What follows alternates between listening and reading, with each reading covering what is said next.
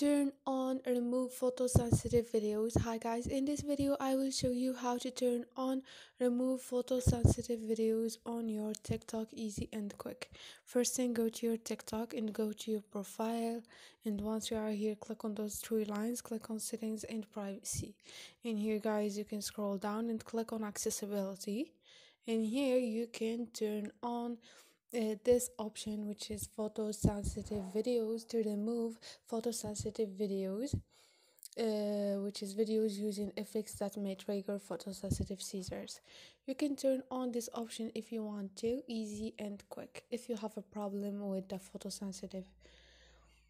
And this is it guys. Hope this video was helpful for you. If this video was helpful don't forget to subscribe and don't forget to like the video.